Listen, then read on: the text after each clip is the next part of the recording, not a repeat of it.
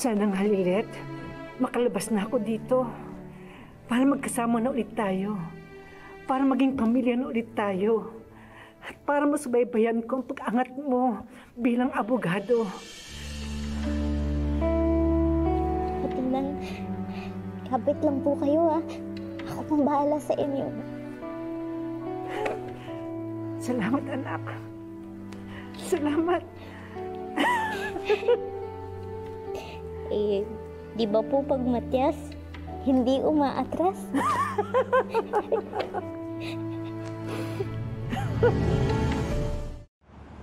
She graduated from law school last March and took the bar exam last November.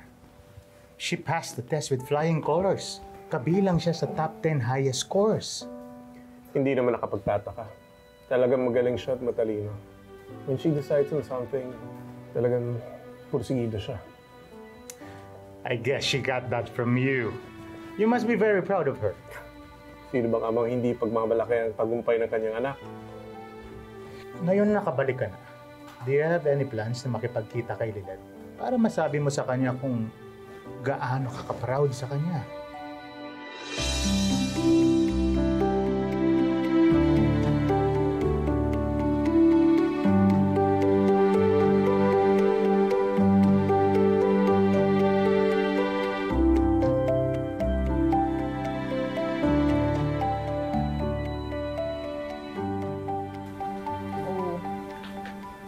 Bakit sadang bestie ko?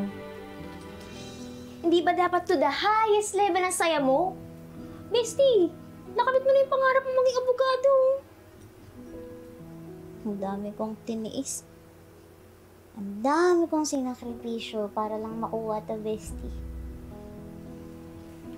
Pero, alam mo, kahit ganap na akong abogado, parang may kulang pa din. Bakit?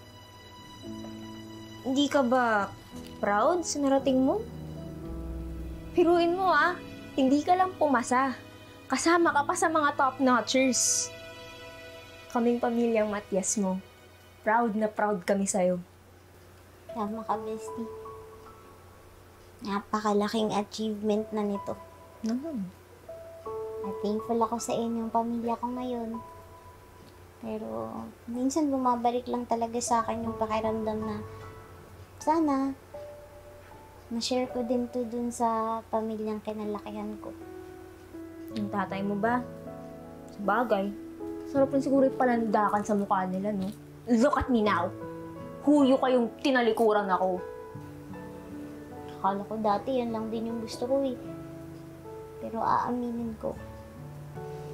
Sa totoo lang, kahit sinalikuran ako ni Sir Ramir, nahangad ko pa rin na kapag malaki niya ako eh, niya akong anak.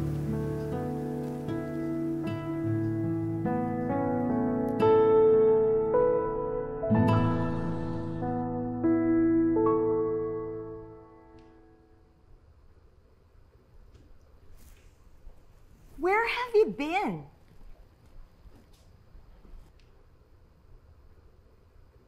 Kanina pa kita tinatawagan, ba't di mo ako sinasagot? Kanina pa rin kami naghihintay sa'yo ni Wesley. Akala ko ba kayo lang ni Trixie may interview?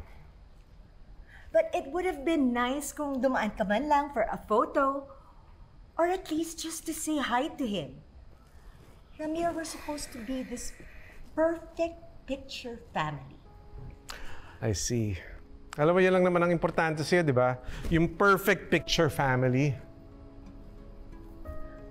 Ba't hindi mo kasi sinasagot ang mga tawag ko? Pinuntahan ko yung manpower business natin. Busy ako noon. Nakipag-meeting ako sa mga department heads. Liar! Ramiro, huwag mo nga akong gawing tanga. Alam ko naman na pinuntahan mo si Ivan eh. Sabihin mo na lang kasi sa akin na nakapagkita ka sa kanya dahil gusto mong kamustahin yung anak mo sa labas. Please, Patricia. Huwag muna ngayon. Bakit kasi hindi mo na lang sabihin yung totoo, Ramir? Huwag mo akong gawing tanga! Pwede ba, Patricia? Huwag ka na magsimula. And what do you expect? Manahimik na lang ako habang binibreak mo yung promise mo sa amin dalawa ni Trixie? Aminin mo na lang kasi, Ramir.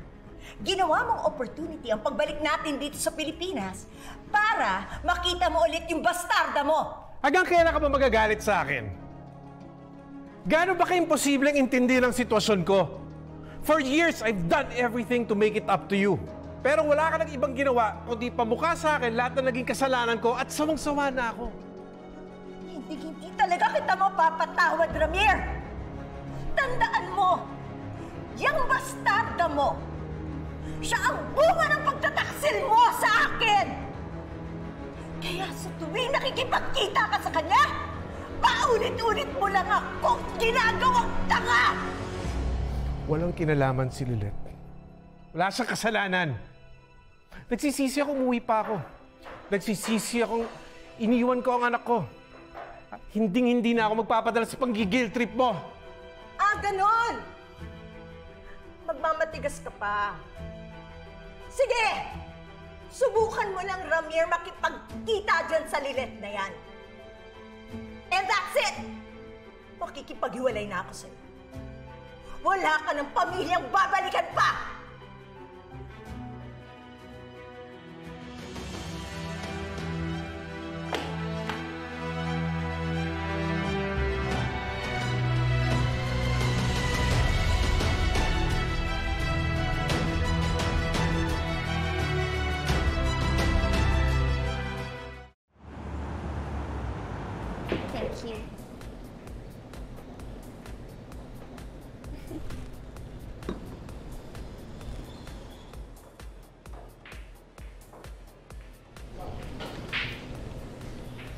Tricksters! So, here's the tea. They are at it again. World War na naman sila ngayon. Kaya I'm here, low-key drinking my glass of margarita. Hmm. Baka kasi di ka makita ng mga followers mo at mga nagsisimp sa'yo. Sayang. You look lit pa naman. Sorry, I hope I'm not intruding. Are you alone? Why? Do I have to be with someone? Mm, kasi a goddess like you is drinking alone. Kailangan mo mag-ingat. I can handle my drink. Yung life ko sa house yung hindi ko ma-handle. Well, marami nagsasabi na good listener daw ako. At di ba mas masarap na makipagkwentuhan sa hindi mo kakilala? Walang prior judgment. I'm Eno. Trixie. Nice to meet you, Trixie.